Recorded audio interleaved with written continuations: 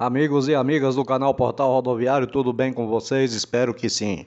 Pois é, pessoal, 30 tanques blindados foram doados pelos Estados Unidos ao Exército Brasileiro e já estão em Curitiba. Eles chegaram nessa quinta-feira, dia 17. Os veículos saíram de Galveston, no Texas, para serem usados em treinamento, combate e defesa. Eles chegaram ao porto de Paranaguá, no litoral do estado, na terça-feira, dia 15.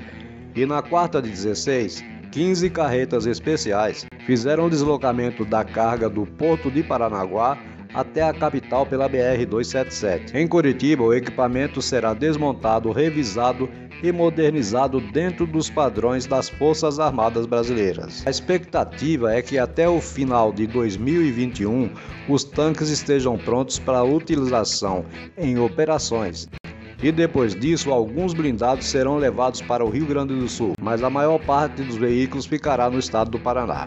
Os comandantes das nossas unidades blindadas vão ter a oportunidade de conduzir as operações militares, dando mobilidade, dando proteção blindada e permitindo que ele faça esse comando de uma posição cerrada junto à sua tropa, disse o coronel Marcelo Sérgio, diretor do Parque Regional de Manutenção da 5 Região Militar.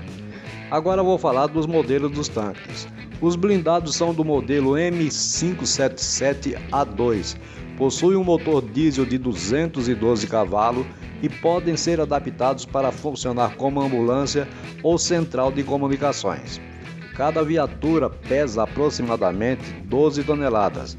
Eles foram produzidos nos Estados Unidos na década de 60 e, com a manutenção, podem ser utilizados em operações por mais 20 anos. Caso o Exército Brasileiro fosse comprar todas as viaturas que foram doadas, o custo sairia em torno de um milhão de dólares. De acordo com o governo do estado do Paraná, os Estados Unidos costumam doar equipamentos usados a nações amigas, que posteriormente fazem a restauração e a modernização desses equipamentos e dão uma nova vida útil para o tanque.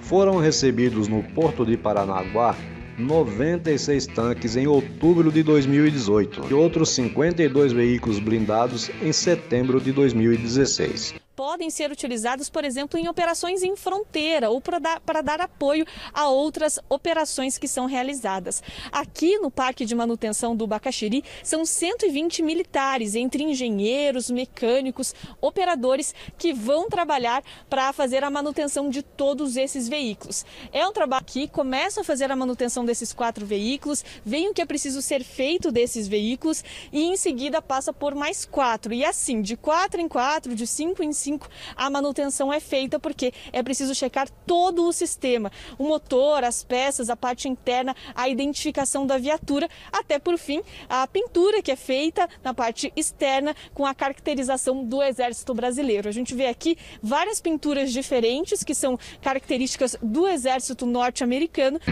Pessoal, eu fiz questão de colocar essa parte da reportagem porque fala que esses tanques poderão ser usados nas fronteiras e também em outras operações que se fizerem necessário. Agora eu vou colocar para vocês aí como é que esses tanques chegaram lá no porto de Paranaguá.